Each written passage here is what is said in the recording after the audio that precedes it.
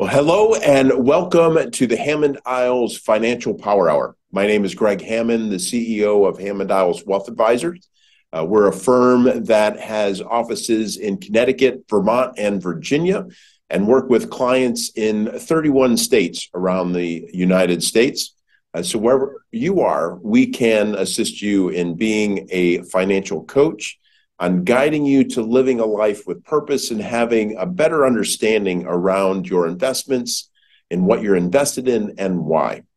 Today, we're going to talk a little bit about inherited IRAs. What do you do? Whether you're an individual who has recently inherited an IRA, or if you are planning ahead that eventually all of us will pass our IRAs on. And it's important for us to think about that uh, even though we'll be gone, we want to make sure that we transition our wealth to our next generation, our beneficiaries, uh, in a way that is tax efficient um, so that more of our wealth passes on rather than being lost to income taxes.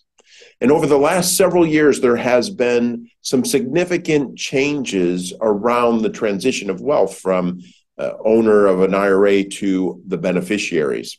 It started in 2019 with the passing of the Secure Act, and that basically eliminated the ability to stretch an IRA.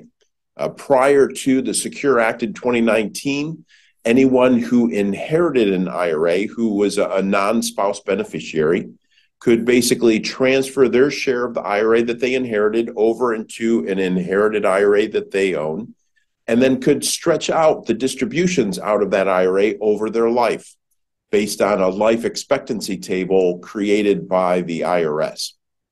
However, that has been eliminated. No longer can non spouse beneficiaries uh, stretch out an IRA. There is now a 10 year rule that we'll talk about today. And then the Secure Act added some additional uh, changes that will be implemented as well.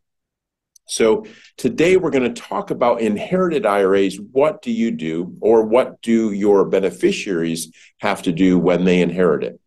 Uh, just as part of our disclosures, I want to point out a couple of things. One is that right now, the basis of all, this presentation and all of the rules around inherited IRA are just proposed regulations by the IRS.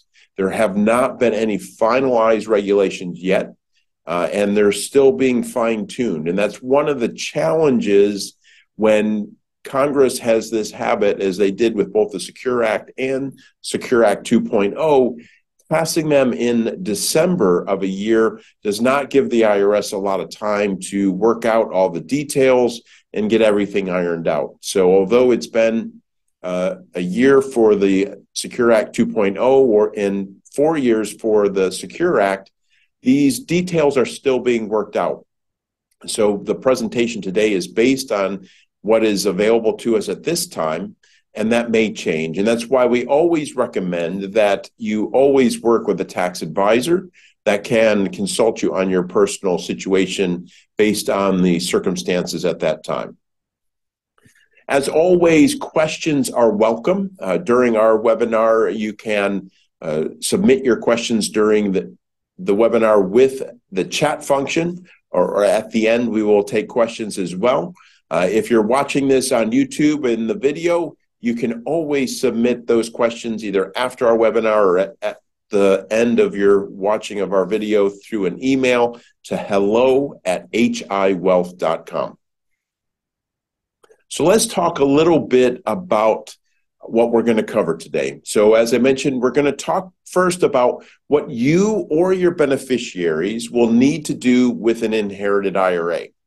Secondly, we're going to talk about some strategies that you can use when you inherit an IRA, being aware of the circumstances that are required. What are some things that you can do as a beneficiary when you inherit an IRA. And then lastly, we're going to talk about some strategies that you can use in passing along your IRA to the next generation or your beneficiaries on how you can make sure that more wealth and less taxes uh, come from your IRA.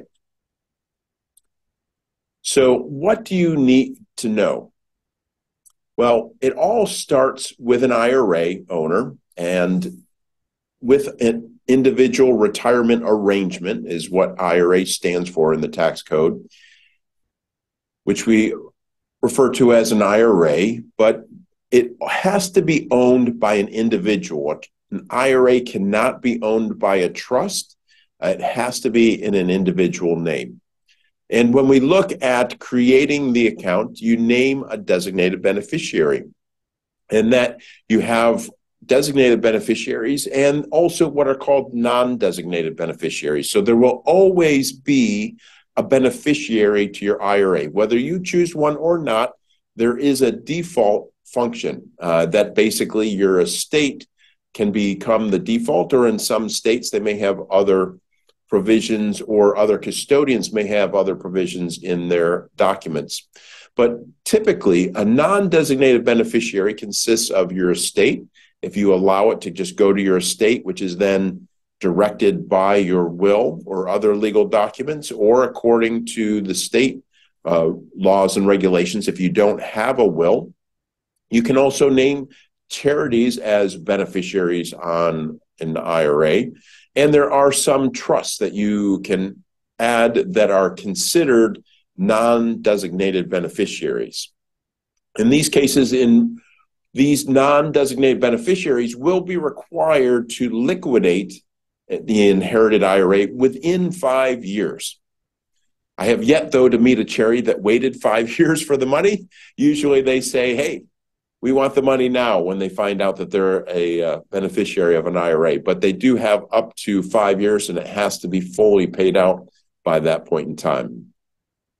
Now, the other side of things, what we call designated beneficiaries, fall into two categories eligible designated beneficiaries or non eligible designated beneficiaries. So basically, there are specific people that are kind of quantified in the tax code as eligible designated beneficiaries, and they have special rules around that. And then basically everybody else just falls into the non eligible designated beneficiaries. So let's take a look at who falls into the eligible designated beneficiaries. You basically have spouses, minor children, disabled individuals, those that are chronically ill, or individuals that are not more than 10 years younger than the IRA owner when they passed. So let's take a look at each of these. Now, the spouse, the spouse has different things that they can do, and they have four basic options when they inherit an IRA. The first is that they can actually become the owner. That if a husband and wife and the husband passes away, the husband's IRA can either be rolled over into the wife's IRA or she can become the owner of that IRA just straight on out. And this is one of the only times that that can happen as a beneficiary is through a spouse. Now, one of the things to be aware of is that this may not always be the best thing to do depending on the circumstances. And the reason I say this is it depends on the age of the spouse. And that if you have an IRA, when you take distributions out of an IRA before age 59 and a half, you are subject to an early withdrawal penalty. So if you are a spouse and you're over age 59 and a half, there's no penalty for distribution. So you can just roll that over into your IRA or become the owner of the IRA. If you're under 59 and a half and you inherited an IRA, you may want to choose at transferring it to an inherited IRA. So rather than it becoming your own IRA, it becomes an inherited IRA from your spouse.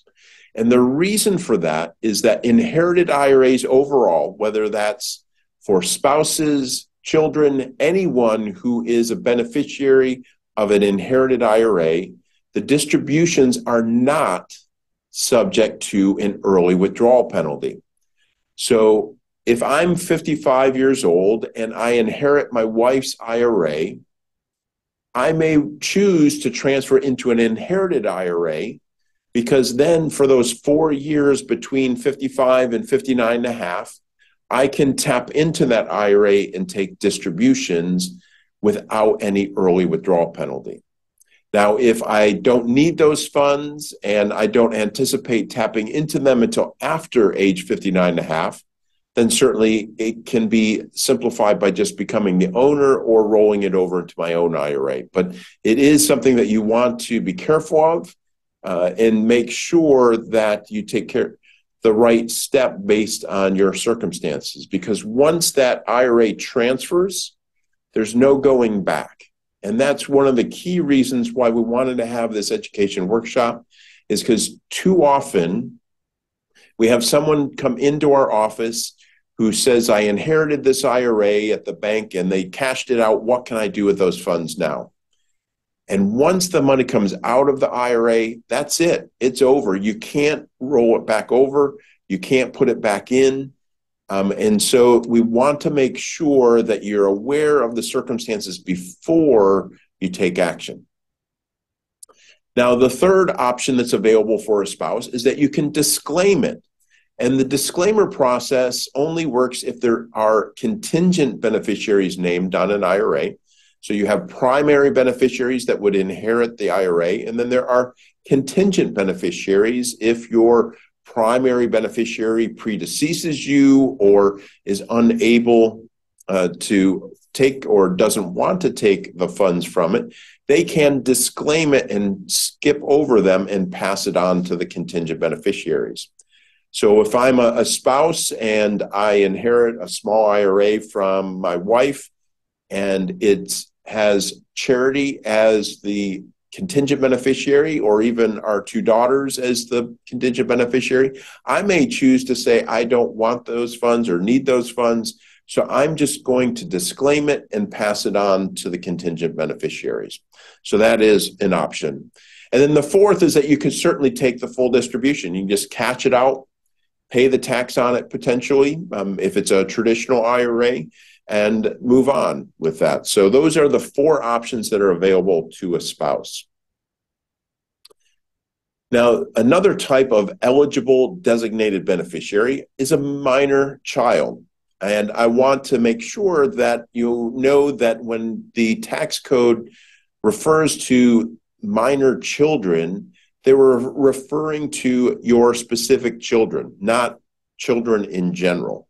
Um, that's your son, daughter, uh, and grandchildren don't count as your children. As much as you love those grandchildren, uh, they for this case they don't count as minor children. So this only applies to your direct relatives.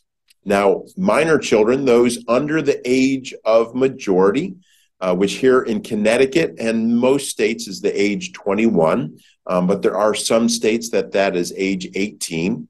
Uh, so up until age 21, uh, a minor child is able to receive annual distributions from an inherited IRA based on their life expectancy. There's a, a single life expectancy table for the IRS. And so, based on the age of the child, they would use that factor to calculate a, a minimum distribution that comes out to them each year.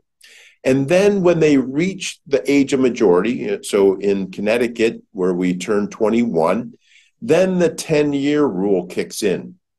Basically, then an annual required minimum distribution would continue to come out in years one through nine, but the entire account would have to be paid out by the end of the 10th year after the birthday. So if my birthday is September 23rd, then, when I turn 21, 10 years after that, uh, by December 31st of that year, I have to have that account completely paid out. So, another example is uh, Lisa, who is age 10. She inherits her parents' IRA. Um, so, she would receive annual distributions for 11 years until she reaches age 21 and then she starts the 10 year payout period. So minor children get a little bit extra time because they're not legally able to execute contracts or make decisions before the age of majority. Um, so they have that life expectancy option available to them until they reach that point. Now, the other three types of eligible designated beneficiaries are all treated the same way when it comes to inherited IRAs. So, uh, disabled individuals, chronically ill, or individuals not more than 10 years younger. So, this applies to potentially uh, spouse or partners that are not married. Uh, but close in age. If you inherit an IRA, you may qualify for this treatment as an individual not more than 10 years younger, or if you're passing on your IRA to siblings, to a sister or brother um, that are close in age to you.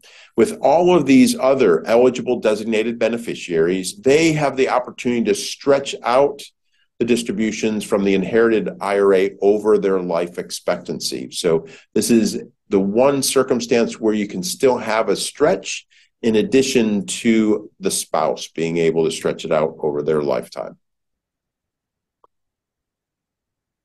So, those are the types of eligible designated beneficiaries. So, now we're going to turn towards everybody else. Um, so, that's your son, daughter, niece, nephew, everybody, your neighbor, me, if you want to add me as your beneficiary.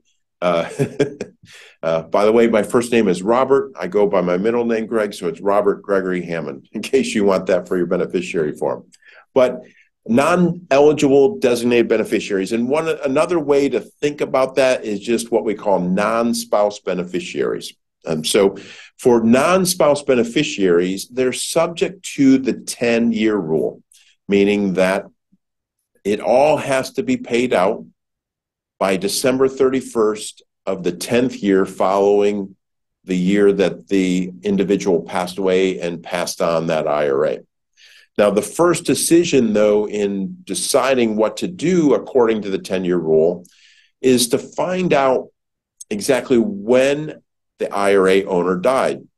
Uh, so, what age did they die? Because there is an important date that we all need to be aware of, and that we all have to be aware of what's called the required beginning date or the RBD. And I'm going to refer to this throughout the rest of our presentation because whether you pass away before the RBD or after the RBD, you're going, it will direct different ways that your IRA has to be treated.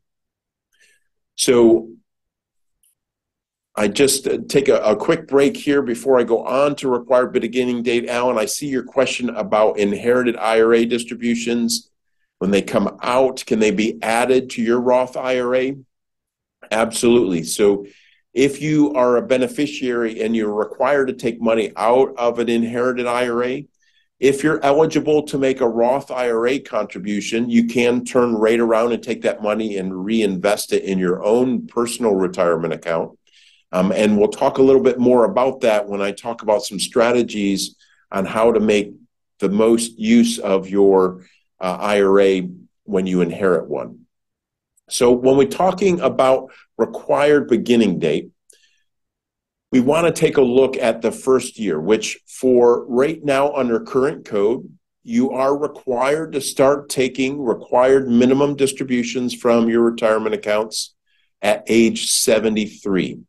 Now, for those of you that may be born after 1960, uh, in 2033, that age will go from 73 up to 75.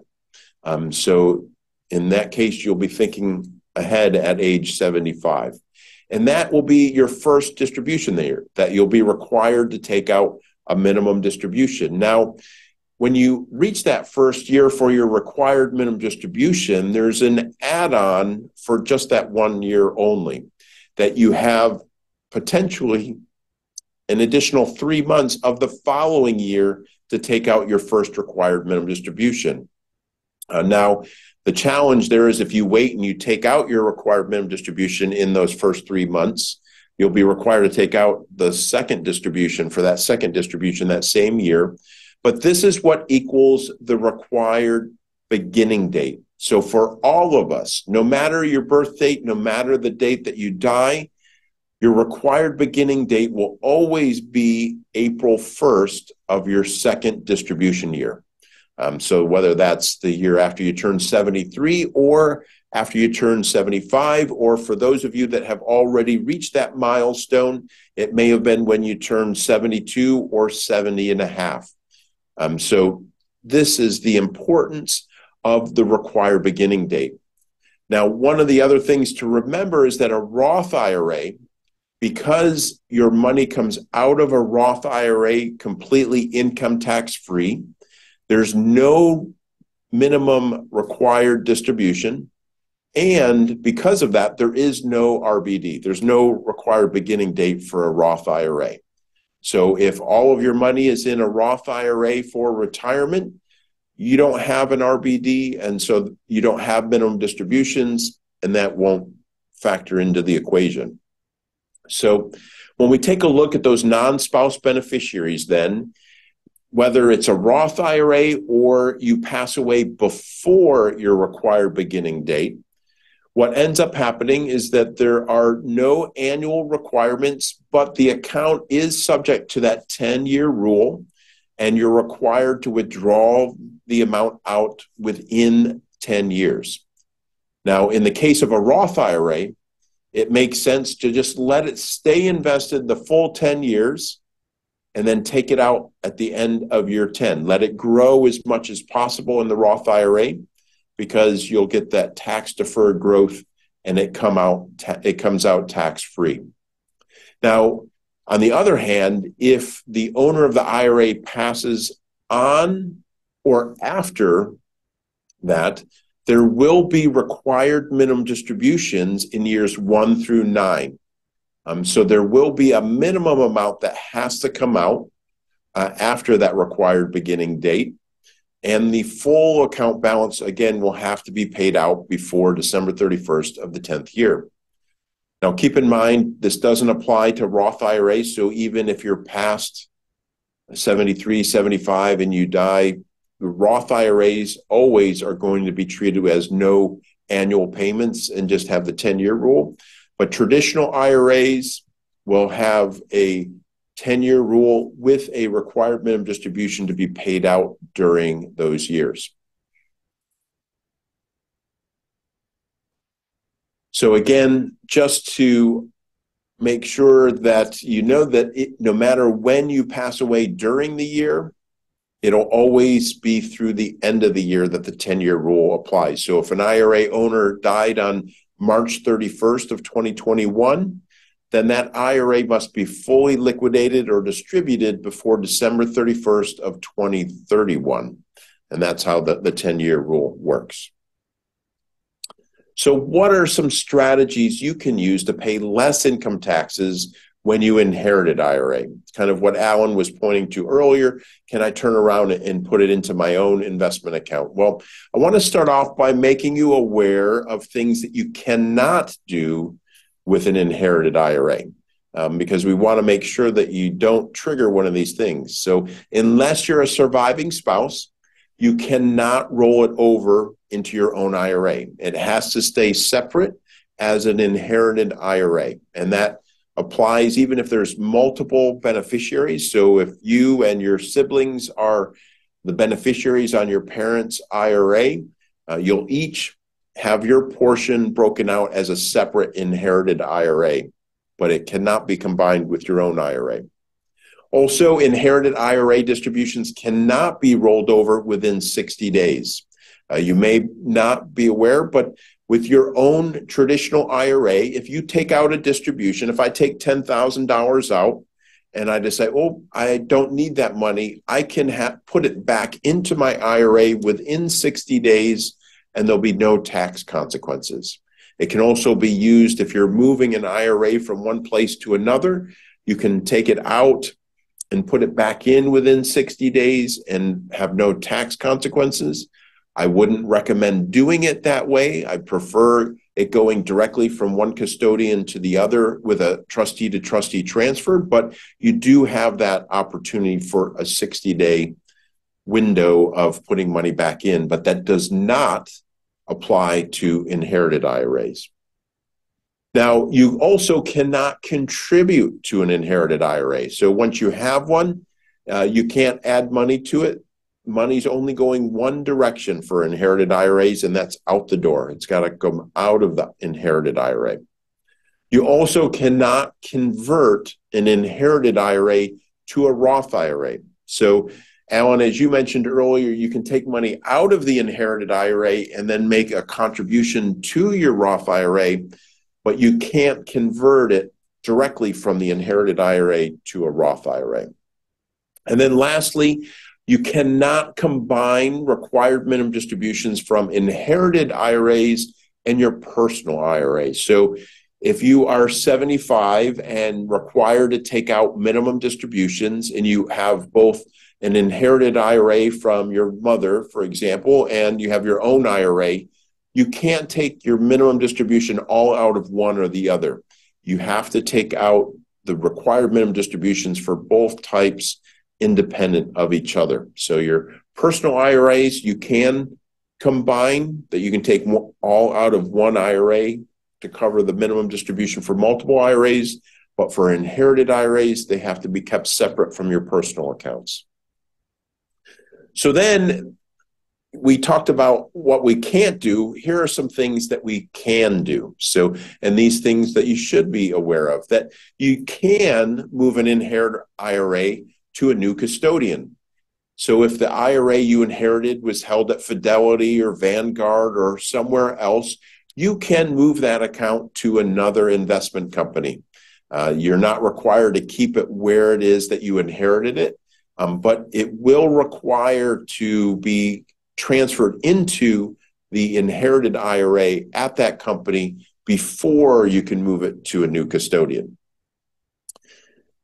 Now, also, when it comes to the inherited IRA, you can control the timing of your distributions, except for those minimum distributions. If the person passes away after the required beginning date and you're a non spouse beneficiary, you have complete control on how much to withdraw during that 10 year time frame. And I'll talk a little bit about that uh, on a ne- in a future slide here. So, the distributions, which could be subject to income taxes when they come out. Uh, again, are not subject to early withdrawal penalties because it's an inherited IRA, but you control when to recognize that income. The third is that you can combine inherited IRAs from the same person. So if your father has an IRA at Fidelity and an IRA at Charles Schwab, you can combine those together as long as they're both from the same person. But if you inherited an IRA from your father and you inherited an IRA from your mother, those cannot be combined because they're from two different people. But those that are inherited from the same person can be combined. Now, the fourth is you can make qualified charitable distributions to just touch on that briefly. And I recommend if you'd like to learn more about that, uh, take a look at our power hour that talks about tax saving strategies to do before year end is qualified charitable distributions. If you're over the age of 70 and a half, you can gift money directly from an IRA to a charity. It counts towards your minimum distribution and it comes out income tax free, which can save you both on federal taxes as well as potentially on state taxes. Um, so it's a great way to use inherited funds or even your own IRA to make a charitable impact without income taxes. So you can use inherited IRAs to make qualified charitable distributions. And the last one is you can name new beneficiaries on your inherited.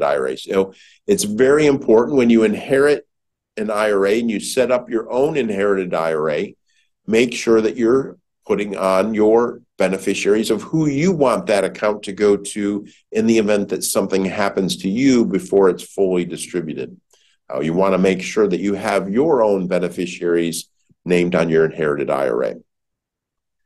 So I was talking about that you have complete control over when to recognize the income. And that's why it's important to talk to a financial coach when you inherit an IRA to talk through what the future looks like. You want to take a look at what your current income is compared to your future income and when is it most appropriate for you to try to recognize that income and maintain at the lowest tax rate possible. If you're currently in a position where you're earning a high income and you're in one of the higher tax brackets, you may only want to take nothing or the minimum distribution out of an inherited IRA until you retire or your income goes down. Or if uh, you are in a situation where your income is lower, whether that's because you're in between jobs, or in some circumstances, I've worked with clients where a spouse is going back to school or temporarily not working so that there is lower income. You may want to take out more of the inherited IRA in those low income years and less in the future. So it's important to think about what does the next 10 years look like for you when you inherit an IRA and then allocate that income coming out to make sure that you're trying to minimize the income tax consequences of taking it out. Because your IRA, it will be taxable to you or your beneficiary at some point. Um, so we want to make sure that Uncle Sam gets as little as possible for that, and that more goes to you, your family, or the causes and organizations you care about. So, another way of decreasing that income when you're getting more income from the inherited IRA is to look at increasing your deductions to offset that increased income. So, one strategy is if you're still working and you're employed at a place that has an employer retirement plan, you may want to increase your contribution to the retirement plan to offset the money that you're required to take out or need to take out of the inherited IRA. So, for example, if I have a $100,000 IRA that I received from my father, so if I spread it out over the 10 years, it's roughly around $10,000 per year that I'm going to take out of that account. It'll be more, hopefully, because the account will grow over that time. I can increase my contribution to my 401k by $10,000 so that when I receive that income out of the inherited IRA, I've reduced my income coming from my employer. So my income take home is the same, but my tax liability remains the same as well. Um, so that is a, a great way to help offset any increase in income. Another way that you can do that is to bunch your charitable deductions. Again, in our workshop where we talk about tax saving strategies, one of the things that we talk about is bunching charitable deductions that can use a vehicle or strategy using a donor advised fund where you can make a larger amount of donations in a single year to get a better tax deduction in that year and then in subsequent years use the standard deduction.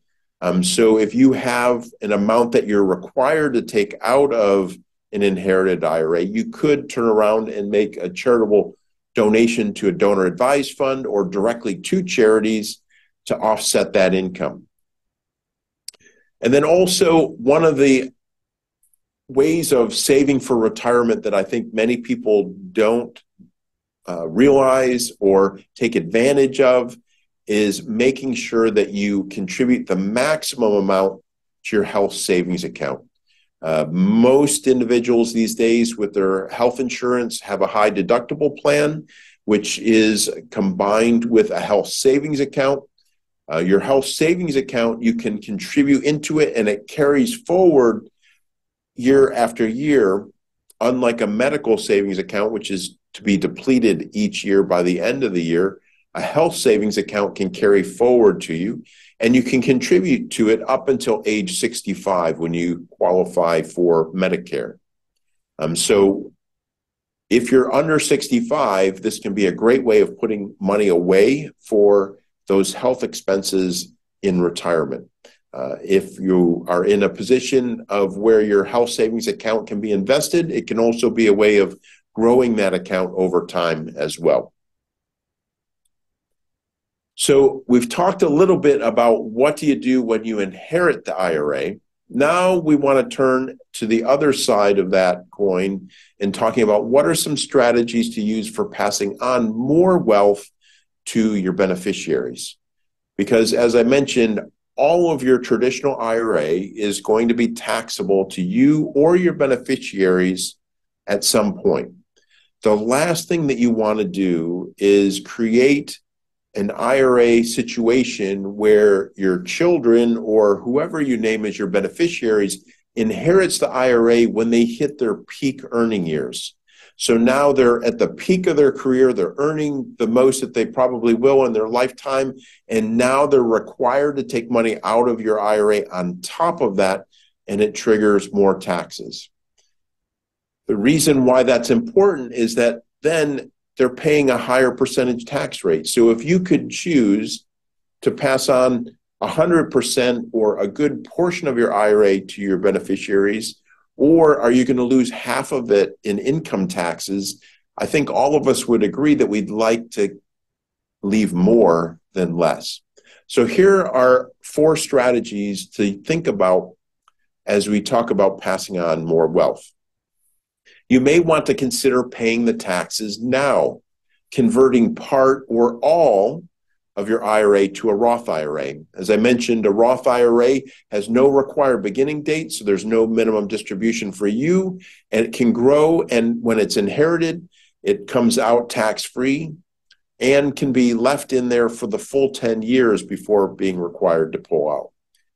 Also, at a time that we're looking at a higher national debt and uh, the possibility of Social Security running out of money, there will be higher taxes in our future. So, does it make sense to pay tax on those retirement savings now? And you can convert part, it doesn't require you to convert all of it. So, you can dial in the amount that you want to uh, convert. Uh, if you'd like to see an example of that, I encourage you to go to our recording on our YouTube channel of our year end uh, tax saving strategies. We go over a specific example about a Roth IRA conversion that you may find helpful. The second strategy is if you're over age 70 and a half, instead of writing a check to your local charity, use your IRA to make your qualified charitable distributions. Keep the cash in your checking account. Instead, fill out a distribution form and pay that donation directly from your IRA to charity you can donate up to $100,000 per year uh, from your IRA to charity. And if you are over age 73 or over uh, 72, if you just recently uh, became required to take out minimum distributions, uh, you also can count those distributions towards your minimum distribution each year. So that's a great way to use those pre tax dollars without any tax consequences. Now, the third strategy is leave your non retirement assets to family and leave your taxable assets to charity. There's a, a, strategy that we call double your retirement, where you name charity as the beneficiary of your IRA and then use part or some of your required minimum distribution to buy life insurance on the other side of that to create tax free assets to your family. So, when you're thinking about your overall net worth, you shouldn't just be thinking, well, I'm going to just carve it up. You know, I want to leave 80% to my children and 20% to charity and just divide it up across the board. No, we should be thinking strategically on the fact that the taxable assets from our retirement accounts should be the ones that target towards charity and the non-retirement accounts that you've already paid tax on should be left to your family members. And the fourth is using life insurance. I briefly mentioned about using it to replace a retirement account. If you leave it to charity, you can replace it with life insurance, but you can also use life insurance to cover the income taxes. If you have a million dollar IRA and you know that your children are going to have to pay a large amount of taxes on that IRA when it comes out to them, you may choose to have a life insurance policy that comes back into the picture and pays an amount to the kids to help cover that tax liability. So that can be either as an individual life, or if you're a married couple, you can look at what's called a second to die life insurance policy. Um, so that benefit doesn't pay until the death of the second spouse. But there are opportunities to plan on using life insurance to either cover income taxes or replace an IRA that you want to leave to charity. So, those are four strategies on ways that you can pass on more wealth from your IRA to your beneficiaries. And if you have any questions about those, I encourage you to schedule a time to meet with a financial coach at Hammond Iles Wealth Advisors and be happy to, to go over those in more detail for you. Uh, we are here to create a clear path for you, knowing that having a knowledge about what you're invested in and why allows you to have peace of mind and live more purposefully. So here are some ways that we can help if you're new to Hammond Iles Wealth Advisors. Uh, we offer these online financial power hours, which if you want to go back and rewatch this or any of our previous power hours, you'll find them all on our YouTube channel, as well as our weekly uh, financial tip that comes out on every Friday. Those will all be found on our YouTube channel, uh, as well as on our social media. So I encourage you to follow, connect, or like us on the social media platform of your choice, um, that you'll find us there. Uh, also, on our website, you'll find a large amount of resources that are available for free download for you. Uh, one of our more popular downloads is a family inventory worksheet that allows you to consolidate all of your financial information and plans into a single document that you can keep with your legal documents or pass on to your beneficiaries so they know where everything is and what you want to happen with your investments. Uh, also, uh, one of the other popular ones is 20 things to do when your loved one passes away. It's a checklist of things that you need to take care of and something that you may not uh, realize. As always, we're available for a free conversation with a financial coach. If you go to our website at hiwealth.com, there's a real easy button in the upper right hand corner that you can click on and schedule a quick conversation at your convenience. So at this point, as I mentioned, all questions are welcome. I'd like to uh, stop here and uh, take questions from you. And if we have not answered your question during this workshop, I encourage you to email it to hello at hiwealth.com and we'll make sure that we respond to you. So with that, I, I thank you for joining us